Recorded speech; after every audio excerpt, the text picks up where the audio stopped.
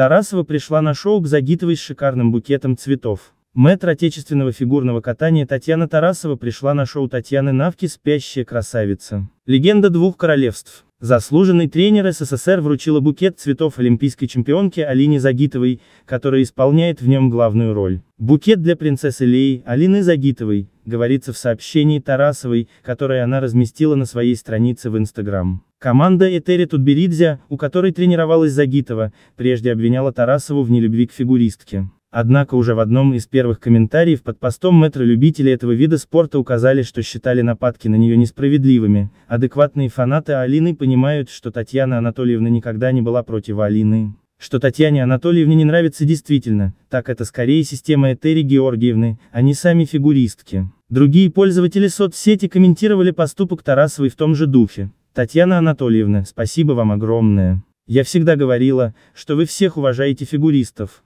Какая же вы крутая. Невзирая на нападки. Чудесный букет для чудесной девушки. Татьяна Анатольевна, вы великая, браво. Все пушки, молчать. Этой женщине можно преклоняться, особенно за Ягудина, крутой контент, Татьяна Анатольевна. Неожиданно и трогательно, вот как говорится, и все точки над «и» расставлены.